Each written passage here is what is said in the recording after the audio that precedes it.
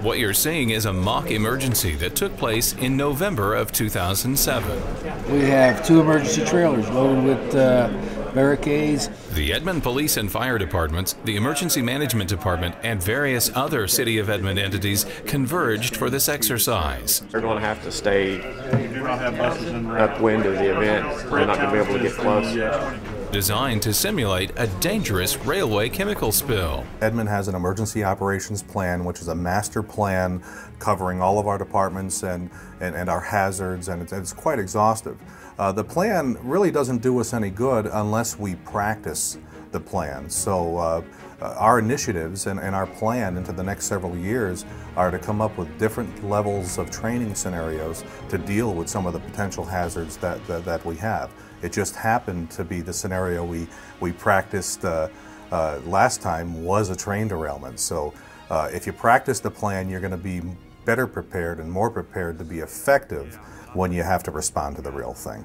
And in this case, they did. I want to make sure that we're all on the same page.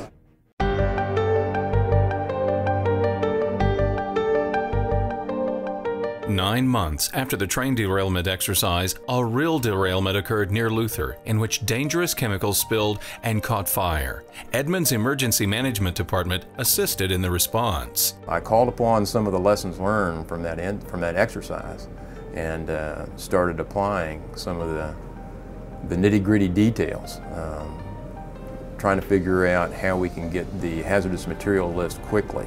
And uh, that was a benefit from the exercise. We made uh, several uh, contacts, built some relationships with the railroad, and I called on one of them to provide us the hazardous materials list uh, so we could provide that from the Emergency Operations Center to the on-scene commander so he would know what he was dealing with.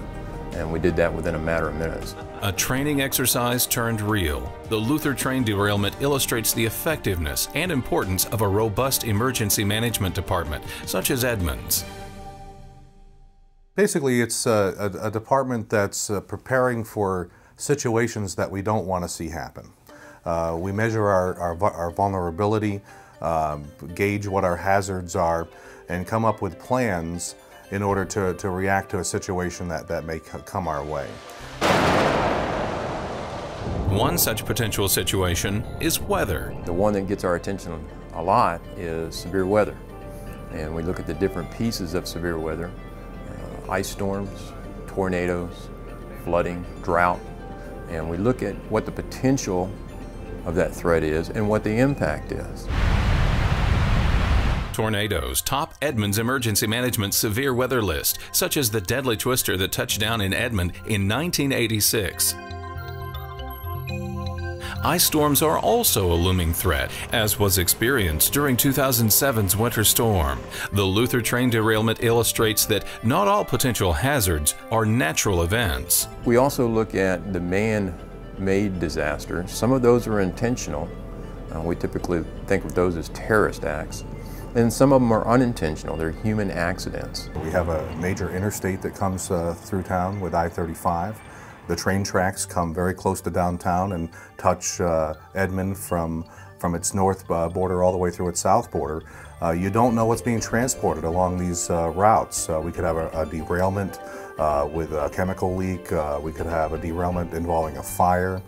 we could have an incident happen on the interstate that, that would be similar. So we have to uh, understand that uh, these types of situations can happen here in Edmond and then have a plan uh, in place on how to effectively respond. When an emergency does occur in Edmond, this facility located beneath the City Council chambers comes to life. The Emergency Operations Center is basically a uh, focal location for us to pay attention to the emergency and gather information, disseminate the information, and then make decisions if necessary. In short, it's the hub of Edmond's emergency response. From here, emergency managers communicate with field personnel, such as firefighters or police officers. For example, during the Luther train wreck, our fire department responded. Uh, we were supporting the Luther Fire Department in their efforts in that situation. And we supported the whole incident from here with some logistics support. In an emergency, the Edmond Emergency Management Department will coordinate with other city departments to best respond to the situation. From fire and police to Edmond Electric, they coordinate and take full advantage of Edmond's resources to address a situation.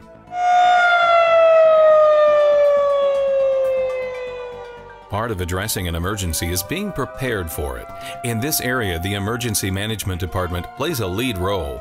An example can be found with the installation and testing of new outdoor warning devices designed to alert residents who might be outside during an impending event. I would say that most of my time since I've been hired has been spent working on the outdoor warning system and updating it, providing more coverage for the citizens and, and getting us into the 21st century with technology and the way that we activate. The outdoor warning system consists of 35 sirens throughout the city. Resource specialist Buddy Hatchel spends a great deal of time testing and monitoring to make sure they're ready for the real thing.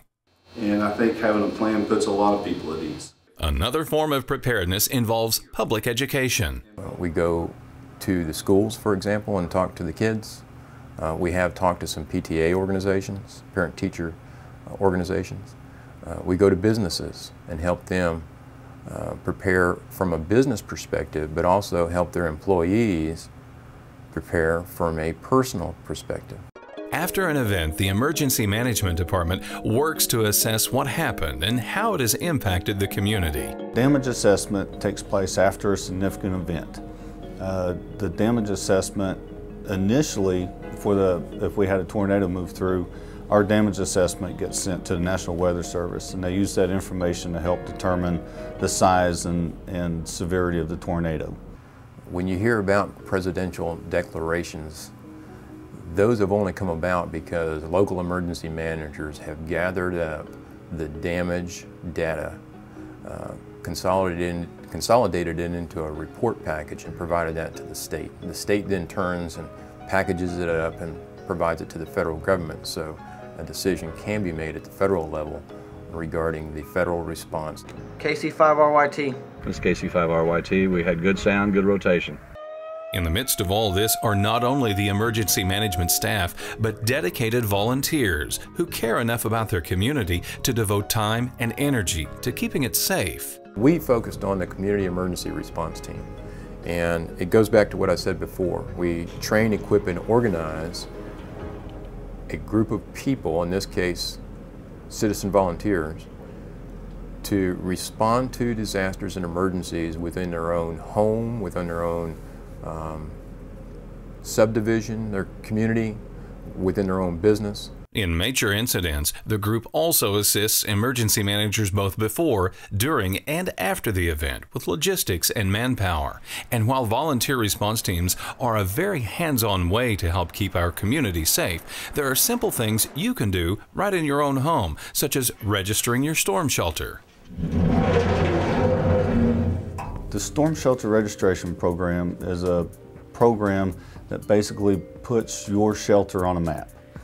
That way if an event came and affected your neighborhood or, or your house, we could pull that data up, send it to the emergency responders, and they would come and check your shelter to make sure you had free access to get out and that everybody in your house was safe.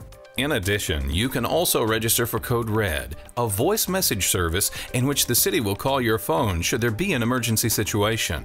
Another service you may want to consider is Weather Watch. If you're planning a large outdoor event, simply let the Emergency Management Department know and they'll alert you should there be inclement weather or other situations that might affect your event. Finally, it's always a good idea to have an all hazards radio which alerts you of any severe weather or other emergency event in your area. The City of Edmond will program them for you at no cost. If you buy an all hazards radio and you just don't know how to program it, all you got to do is call me and we'll set up an appointment and I will program your radio for you. Also, for businesses, schools, nursing homes, or similar facilities, the City of Edmond will provide the radio itself for free on the condition that your facility creates an emergency plan, which the city can also assist in developing. All of these services offered by the Emergency Management Department are common sense ways to improve safety for you and your community.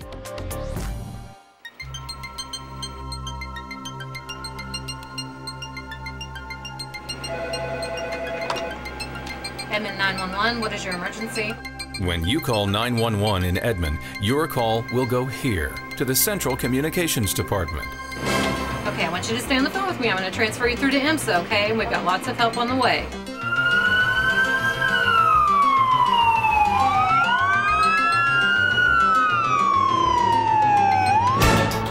Our department answers and responds to all emergency and non-emergency calls for the Edmond Police and Edmond Fire Department. We also answer volunteer fire calls for Oak Cliff and Deer Creek Fire Departments. And after hours and weekends and holidays, we take all the emergency public works calls for the City of Edmond. Christy works with a tight-knit group of emergency responders like Tony Strader. I would say every day we, you know, assist in saving a life. Um, if you call into 911 and you're having a heart attack, we're going to use the most efficient and effective means possible to get you all the help you need immediately. Um, so, you know, that gives our employees a great feeling. Uh, there's a, a, specific piece of the public safety service that they're responsible for, and that's from the point where a citizen calls for help to the point where we deploy a resource, whether it's police or fire. Uh, we work very closely with, with uh, both uh, departments. Uh, our mission is to provide effective public safety communication services as quickly as possible. While the department is designed to respond to emergencies, it might be important to understand how they define emergency. An emergency would be any situation where your life or life of a person that you know is in immediate danger. This could also include if their property was in immediate danger. If it's a crime in progress, you want to call 911 immediately. Um, if it's something that occurred yesterday or you know this morning, um, you know call our non-emergency lines. Um, that way, you know you're not tying up a 911 dispatcher that may be trying to take you know a true emergency call. But what happens if you accidentally dial 911? They accidentally call 911, the best thing is to first don't hang up the phone. Stay on the phone and explain to the dispatcher that it was just an accident or a misdial. And then the dispatcher is going to ask them to verify their name and address that shows up on our uh, computer screen. And the reason we do that, just to make sure we've got the right information in case in the future they do have an emergency when they call and they're not able to talk to us. From 911 to disaster response, the Edmond Emergency Management Department covers a wide array of services to help keep you safe. For more information about all emergency management services, go online to edmondok.com forward slash safety.